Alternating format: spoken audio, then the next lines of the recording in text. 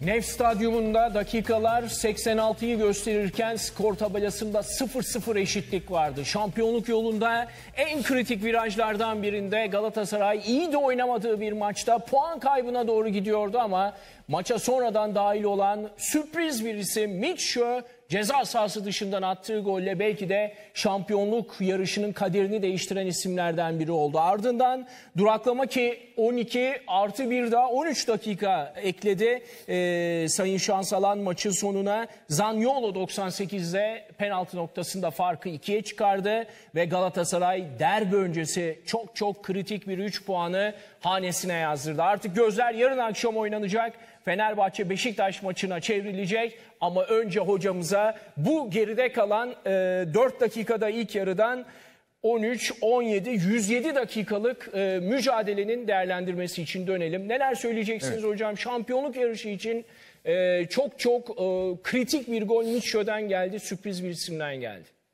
Evet, e, şimdi oyuncu değişiklikleri üzerinden teknik direktörün başarılı veya başarısız performans gösterdiği maç ile ilgili yorum yapmak doğru değil. Şimdi baktığımızda golü Mitchell atıyor ve oyuna girdiğinde de iyi de oynamıyordu. Ama müthiş bir gol vuruş yaptı. Sakinlikle ayak içiyle uzak köşeye. Bu bir. İki, ikinci golde uzun e, sürdü topu Zaniolo. Pası verdi. Diğer oyuna giren oyuncu Yunus. Yunus da penaltı yaptı ve yaptırdı ve e, Zaniolo'ya da 2-0. Yani değişiklikler evet çok oturdu Skora gibi düşünmek çok doğru sağlıklı değil ama oturdu mu oturdu. İstediği oldu mu oldu mu. Ama şunu da gördük ki öncelikle ligde ilk dört takım milli takım dönüşü birlikte oynuyorlar. İşte Fener, Beşiktaş, Galatasaray, Adana Demirspor. Kaldı ki Fenerbahçe'nin hatta Beşiktaşların da en çok e, Galatasaray'ın puan kaybetme ihtimali gördüğü maçlardan mı? bu maçı görüyorduk ki dediğinde doğru sadece 86 dakika geçen 86 dakikada e, şeyler değil e, oyun kötü bir de rakibin net pozisyonu az Daha ama fazla. senden daha fazla. Evet, yani bravo. 2-3 tane Demirspor kalitesi de bir takımdan kendi e, gücüne göre az ama Galatasaray Galatasaray'ın Abdülkerim'in e, sayılmayan golü var ya şeye Evet. çıkardı. E, Offside oldu. Ertaş çıkardı. Kaleye tutan şutu on- onunla birlikte ikinci ikiydi. Bir maçın ilk dakikası kafa vuruşu üzerine geldi. Bir tane ayağının dışıyla avuta gitti. Hep Abdülkerim Bardakçı'nın 3 pozisyonunu almışım ben hocam. Başka yok. Hayır şu kaleciye top değmesi Yani bir ikinci maçın ise- başında bir ikinci de Evet. o da gol de olsa sonuçta offside'di. Ama daha sonra da e, tabii Mitchell'ın ki orada da parmağıyla bir dokundu. Fakat Ertaş öyle bir kaleci ki şampiyonluğu etkiledi biliyor musun? 3 gol yedi maçta. Malatya. Galatasaray Malatya maçında ben hayatımda bu kadar gol pozisyonu girilip bu kadar da gol k- kurtaran kaleci görmedim. Abartmayayım ama acayip bir maç oynamıştı. Ee, Biraz da soğuktu maçta onu da söyleyeyim. Bu niye anlatıyor? Galatasaray'ın o bildiğimiz gol pozisyonu üreten takımdan e, uzaklaşmış gördük. Hatta cümleye de şöyle başlamak istiyordum ben. ikinci gole kadar. 45 puan aldı tek farklı galibiyetti diyelim. Düşelim 3'ü 42 puan aldı. Yani 14 galibiyet farklı aldı. kazandı. Bir farklı kazanarak. 20 galibiyetin 14'ünü ki bugün 80'lerden sonra e, uzatmada attı ikinciye. 98'de oldu. Evet ama kolay değil. Bakın çok tecrübeli bir takımda olsanız Fenerbahçe Beşiktaş biri Samandıra'da kamp yapıyorlarsa bir diğeri Ümraniye'de Maçı izliyorlar. 80'den sonrasını muhtemelen %50'si izlememiştir özellikle yerlerin. E, Cesus da Şerin Hoca da bir dakika Ahmet Bey'de Ali Bey'de bir totem motem herkes yapmıştır. Hepimiz yaparız. Bu futbolda var yani. Gerçeği evet. Şimdi Galatasaray'ı Fenerbahçe'den ve Beşiktaş'tan şampiyonluk yarışında olduğu için ayıran bir özellik var. Oyundan bağımsız skor alabiliyor. Bu da ben futbolda asla şansa inanmam. Hep şanssızlık derler. Mesela Adana Demirspor'un iki topu direğe çarptı, dışarı çıktı. Şanssızlık değil, beceriksizlik. Daha içeri vur dersin. Nietzsche gibi vur dersin. işte Galatasaray'da en azından cebinde sıp golü yememiş ve dikkat ediyorsan Oliveira'yı çıkardı. Kimi soktu? Mitchell'u. Nietzsche'yi. evet. Savunmaya gelmeyen Mertens'i çıktı. Önce şöyle yapalım. Raşit Say'ı oraya Nereye koydu. geleceğim? Evet, Önce Raşit Say'ı buraya aldı. evet Zaniolo'yu sağa aldı. Zanyo, e, daha sonra Yunus'u aldı. Raşit Say'ı sola attı. Yunus şimdi neden taviz vermedi? Bakın Zanyola sağa girdi. Daha sonra forvet arkası. Sistemden Raşit- hiç taviz. Konya'da ne yaptı? Yine Raşit Ne kadar Say'ı- önemli bir puan kaybetti. Ee, berabere bitse yine avantaj. Evet. Ne yaptı orada? Risk aldı. İşte buradan da ders çıkardı mı? Evet. Çıkarmış. İşte buradan değişiklikten görüyoruz. Teknik direktör Konya'daki mağlubiyeti kendine yazmış. Kaldı ki bireysel performans olarak da Muslera'nın çıkardığı bir top yok ama bir yorum yapamayız. Ben Ada Kupe'ni sadece yerli statüsünde olduğu için faydalı bir transfer olarak soru işareti o da. Sadece yerli statüsünde oynadığı için söylüyorum. Hani yabancıları daha fazla kullanabilmesi için. Abdülkerim Nelson ikilisi kendi atlarına da kariyerlerin iyi sezonlarından birini yaşıyorlar. Boya gün bugün için iyi oynamadı. Benim ölçülerim. Son hareketleri hep iyi başladı. Fena da değildi yani ortalamasını yakaladı diyebiliriz. Ben de maçın başına gelelim. Sergio Oliveira ben de e, uzun süredir bu kadar güçsüz olduğunu görmemiştim açıkçası. Kerem ilk yarı bence iyi oynadı. İkinci yarı silindi ki Galatasaray yavaş yavaş koparken oyundan Demirspor problemi şu oldu. Önde top kalmamaya başladı.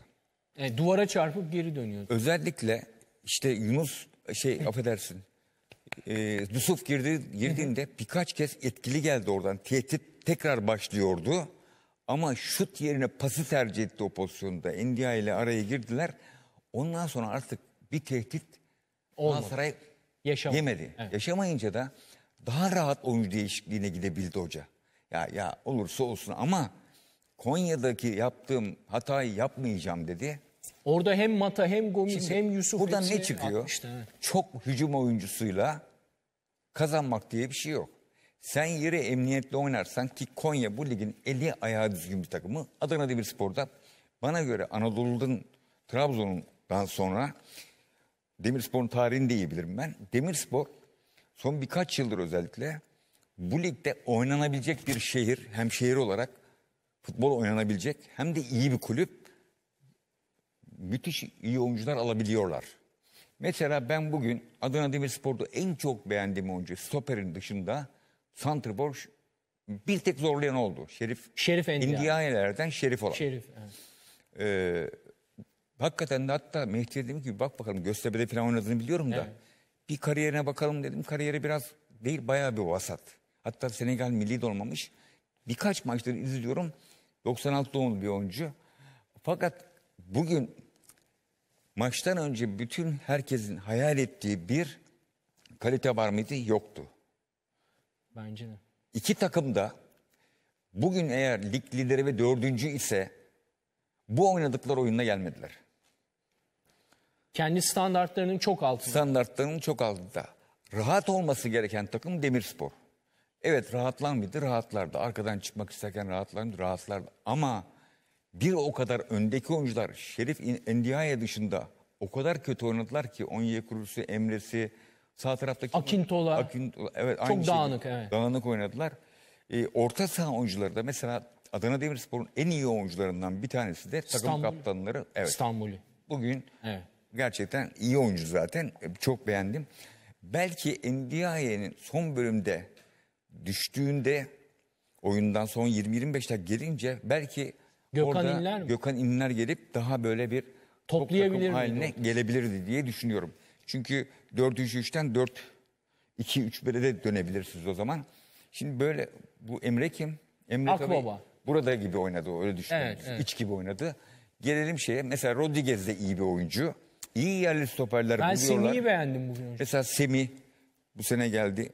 Tayyip Talha oradan. Tabii. Samet aynı şekilde. Evet. Bence iyi kalecileri var.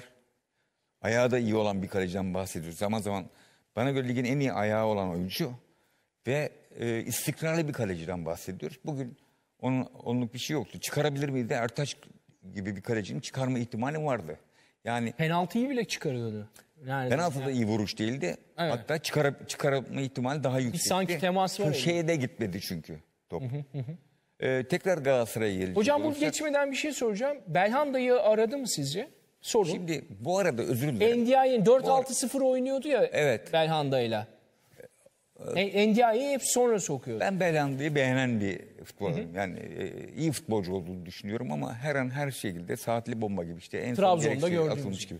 Şimdi benim son Galatasaray Konya maçında arkadaşlardan rica edelim ben konuşurken de yapsınlar. Şimdi maçların arasında teknik direktörler her gün yaşayarak eleştiriye açık değildir teknik direktör. Ama eve gittiğinde mutlaka değerlendiriyordur. Değerlendirmiyorsa da değerlendirmelidir. Yani e, Konya maçının son bölümünü sadece alsınlar burada. Bir de bugün son bölümünü alsınlar. Bence iki maç arasındaki fark burada doğdu. Ya bir dakika dedi ya. Ben Konya'ya bir bire geldim ama kazanabilirim yine. Fakat sen ligin son maçıymış gibi yenemezsem şampiyon olamam gibi oyuncu değişiklikleri ve ofansif bir oyuncu oynarsan o ikinci bölgeyi çabuk geçerler ki bugün Demirspor geçemedi. Çünkü Mitchell'la Torreira vardı orada. Evet Mertens zaten dönmüyordu geriye. Zaniolo da hatta Raşitsa da merkezden dönmüyordu. Bekiyle geliyor Raşitsa eyvallah. Ama şu, şu gerçek ki bugün Galatasaray oyuncuları ve teknik direktörü evine gidip duş aldıkları zaman şimdi yarınki derbiyi hangi gözle izleyecekler? Fenerbahçe Konya ile oynasaydı veya Beşiktaş'ta Alanya ile oynasaydı etkilenirdi yüzde yüz e, derdim. Ama şimdi Fener Beşiktaş olduğu için sadece şampiyonluk yarışı değil bir rekabet olduğu için Tabii. de Kendi zaten içinde. konsantrasyon önemli. Ama yarın derbide bu maçın 85'ten önceki 85. dakikadan sonraki Psikolojisi farklı. 1-0'ı 1-0 farklı olacak. Fener 1-0 önde farklı olacak.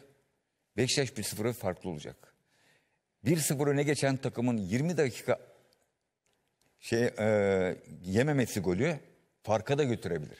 Çünkü ya sezonda gidecek diyebilir. Her iki takım oyuncuları da. Bu skordan sonra. Çünkü teknik direktörsüz oynanmaya başlayacak oyun. Milli takıma da biraz sonra e, teknik direktör ne kadar önemli olduğunu. Hep deriz ki ya teknik direktörün ne kadar şey var. Tabii ki iyi kulüp, iyi antrenör, İyi oyuncu. iyi oyuncu. Demirspor'dan mesela. Ee, Başakşehir mesela. Aynı şekilde doğru planlamalar. Ee, teknik direktör neden hep gönderilir? E, son- Çünkü yüzde yüz derler. Sorumluluk onun. Evet teknik direktörün ne kadar önemli olduğunu her iki maçta hem de oynadığı Galatasaray'ın son ikili maçında 90'ar dakikadan uzatmalar dışında görebiliriz. Galatasaray maçı nasıl bitirdi ve kaybetti? Galatasaray nasıl devam etti maçı kazandı. 0-0 bitebilir miydi maç? Bitebilirdi. 85'e kadar. Bitebilirdi.